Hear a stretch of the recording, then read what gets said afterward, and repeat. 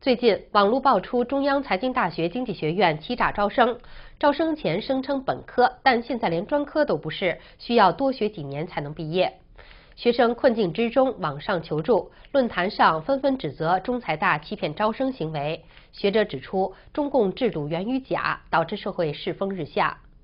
近日，在天涯论坛、土豆、酷六等网站上，陆续出现一则名为“中央财经大学经济学院诈骗”的视频。视频显示，二零零八年，中央财经大学定向培养金融、电脑资讯管理等七个专业三百人，学生在中财按照四年全日制普通本科模式培养，成绩合格由中财颁发相关专业证书和普通高等院校本科毕业证书，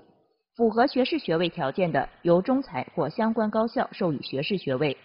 不过，现在几个网站的视频都被删除。现在学校学生发现，他们只能拿到网络学校的专科毕业证，专科毕业升本合格后才能拿到本科毕业证，这样时间大大加长，而且增加很多费用。很多学生已经退学，剩下的八百多学生在网上发信和视频求助，校方则声称这些学生学习能力不强，必须经过高升专、专升本的过程才可以毕业。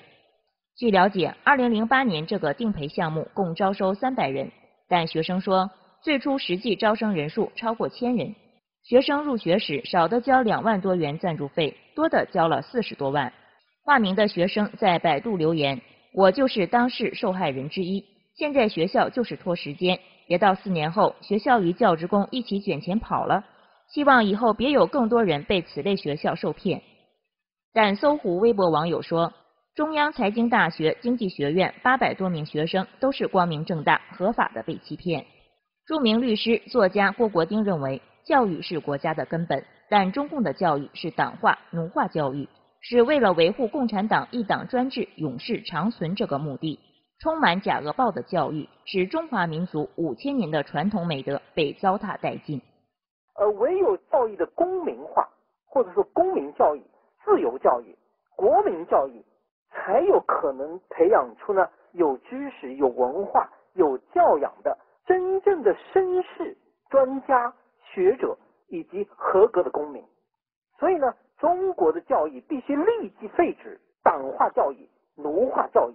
中华民族才有可能复兴。因此呢，共产党必须退出一切教育机构。教育部高校学生司一名工作人员认为，就目前情况来看。校方当初的宣传承诺可能存在问题。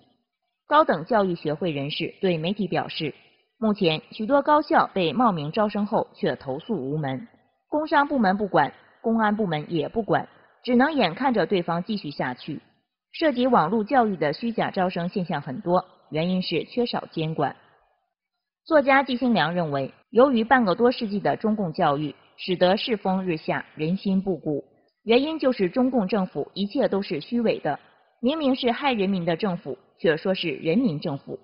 明明是为特权阶级和既得利益集团服务，却说是为人民服务。有这个虚伪的政治架构和虚伪的意识形态，全社会就会习学虚假，以至于使虚假泛滥成为主潮流。新唐人记者宋峰、刘慧综合报道。